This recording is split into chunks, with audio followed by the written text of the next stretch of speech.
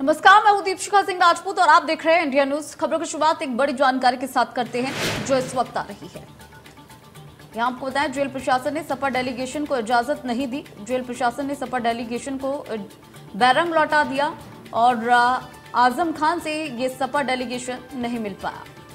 आज़म खान ने खुद मिलने से इनकार किया है। ये सूत्रों के हवाले से जानकारी आ रही है। आज़म खान को लेकर रविदास मेहरोत्रा का भी बड़ा बयान आया। उन्होंने कहा कि जेल में आज़म की हत्या हो सकती है। ये बड़ी जानकारी है और एक बड़ा बयान भी है।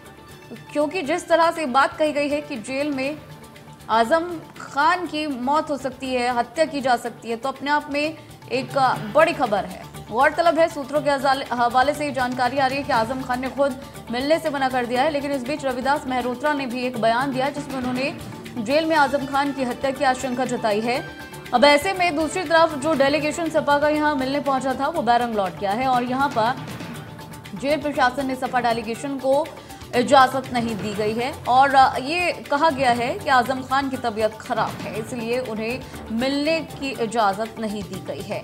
आज़म खान को लेकर दूसरी तरफ़ रविदास मेहरोत्रा ने एक बड़ा बयान दिया है, और ये बयान काफ़ी बड़ा है, क्योंकि उन्होंने कहा है कि आज़म खान की जान को खतरा है, जेल में उनकी हत्या हो सकती है।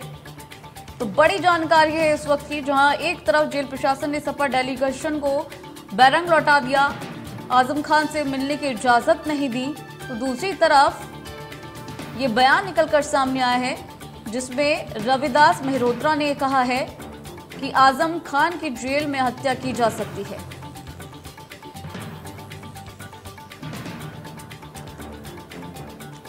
सपा नेता राघवेंद्र दुबे हमारे साथ जुड़ गए हैं। जिस तरह से सपा का एक डेलीगेशन पहुँचा था, और उसे बैरंग लौटा दिया गया है अभी क्या कहना है आपका इस पूरे मसले पर? क्योंकि दूसरी तरफ़ ये बयान भी निकलकर सामने आ, आ रहा है कि आज़म खान की हत्या हो सकती है और ये बयान रविदास मेहरोत्रा ने दिया है। जी। देखिए उन्होंने बयान इसलिए दिया कि अगर प्रतिनिधिमंडल मिलने गया है तो वो कोई राजनैतिक कह दिए कोई ऐसा नहीं है कि कोई आतंकवादी हैं है जिनसे मिलने नहीं दिया गया। भाई लोकतंत्र की हत्या जिस तरीके से सरकार कर रही है ये सिंपल सी बात थी कि वो वहाँ पर मिलने गए और उनको मिलने देना चाहिए था। आज़म खान से नहीं मिलने देना बहुत सारी शंका पैदा करती है कि क्या वो बताना चाहते हैं क्या उनसे मुलाकात करना चाहते हैं कैसा उनका स्वास्थ्य है जो ये सब देखने गए। लेकिन उनसे नहीं मिलने देना ये बड़ा गलत है। क्योंकि ऐसा पहले भी होता रहा है लोग में ऐसा नहीं है कि जो मिलने जाता है उससे मिलवाया भी जाता है। क्यों नहीं मिलवाया मिलने दिया गया? जिला प्रशासन बताएगा या उत्तर प्रदेश की सरकार बना बताएगी कि क्यों नहीं मिलने दिया गया? तो आशंका तो निश्चित रूप से उभरती है कि कुछ गलत राघवेंद्र करना जी लेकिन इसी बीच एक, एक ये भी सूत्रों के हवाले से जानकारी आ रही है कि आज़म खान ने खुद ही मना किया है इनकार किया है मिलने से। नहीं ऐसा नहीं है। आज़म खान साहब जि, जितने लोग भी जहाँ जाते हैं मिलेंगे। आज़म खान साहब क्यों मना करेंगे? कोई अगर उनसे मिलने आता है कोई भी ऐसा नहीं होगा जो उनसे मिलने से क्यों मना कर देंगे? तो राघवेंद्र जी जैसा कि अभी आपने कहा कि जेल प्रशासन की तरफ़ से मना किया गया है आज़म खान की तरफ़ से नहीं किया गया है तो आपको क्या लगता है कि प्रशासन की तरफ़ से क्यों मना किया किया गया होगा?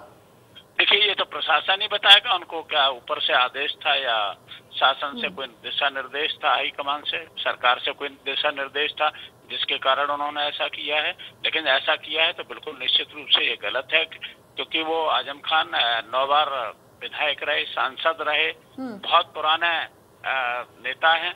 तो इस तरीके से उनके साथ अगर व्यवहार हो रहा है तो ये बहुत ही गलत है निंदनीय है और और इसकी आलोचना होनी चाहिए और सरकार को भी ध्यान देना चाहिए कि ये क्यों कर रहे हैं कि जो भी मिलने जा रहा है उनसे मिलने देना चाहिए। ये तो लोकतांत्रिक अधिकार है और उनका हरण नहीं होना चाहिए उसका। बीजेपी नेता आलोक अवस्थी हमारे साथ जुड़ गए हैं। आलोक जी जहाँ एक तरफ़ सपा का डेलीगेशन यहाँ पहुँचा था आज़म खान से मिलने के लिए तो दूसरी तरफ़ जो मेहरोत्रा है, उन्होंने ये बात कही है कि उनकी जान को खतरा है, आज़म खान की जान को खतरा है। अभी जो स्थिति बनी हुई है, इसको लेकर क्या कहेंगे आप?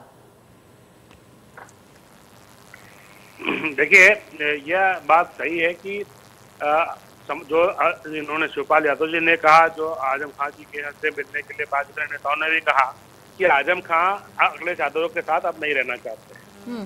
आज जो है जिस तरीके से उन्होंने समाजवादी पार्टी के डेलीगेशन से मिलने से मना कर दिया है यानी कि वो एक नई राह पे चल चुके हैं जैसा कि शिवपाल यादव जी पहले इसके बारे में बता चुके थे।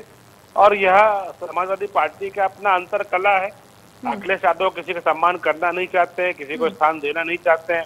किसी बुज़ुर्ग की किसी सीनियर लीडर की की, की इज़्ज़त नहीं करते हैं तो उनके साथ कौन रहना चाहेगा?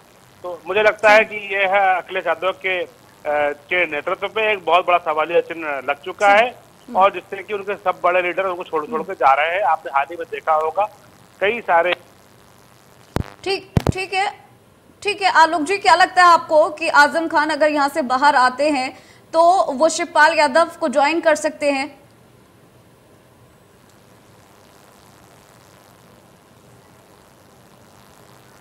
चलिए आलोक जी बहुत बहुत शुक्रिया हमारे साथ जुड़ने के लिए। राघवेंद्र जी हमारे साथ जुड़ने के लिए बहुत बहुत शुक्रिया। बीस मंजिल में रहे थे आज 26 महीने से आज़म खान जेल के अंदर बंद हैं। तो लगता है कि प्रदेश में भाजपा की सरकार ने लोकतंत्र की हत्या कर दी है। और एक